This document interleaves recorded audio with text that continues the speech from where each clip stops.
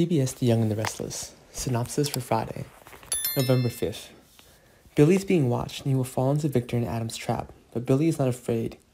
He has Billy and Jesse Gaines to protect. Victoria saw a positive signal when Ashland agreed to meet Nate. He'll be Ashland's personal doctor from now on, in charge of treatment and research on new surgical methods. Ashland will mention that he was able to close an evaluation appointment at his new treatment clinic in Peru. Victoria says she wants to live longer with Ashland, and she doesn't want to be stuck in this mess anymore, so she's going to call Billy and ask him to take the kids away for a few days. They will leave Genoa and start a peaceful life, without power, without competition. Adam is now Victor's right-hand man, and they both have the same desire to defeat Billy. But how? Victoria is very tired when Ashland does not care about her death, and works all day, and has meetings with Victor and has big projects. It seems that this desires are career and money.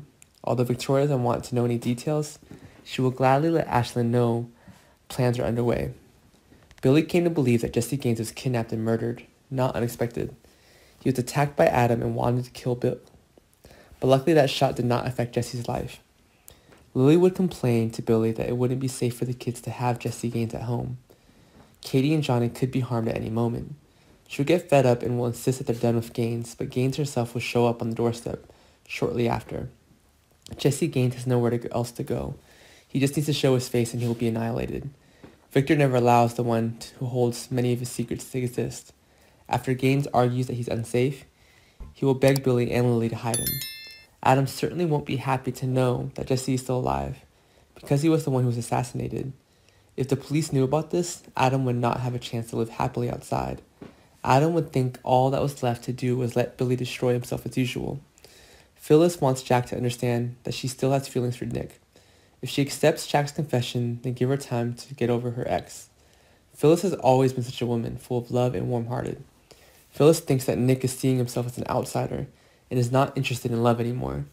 Nick and Sharon recently met and fell in love, and she did not want this to happen, and she won't share Jack's optimism when it comes to fixing her relationship this time around.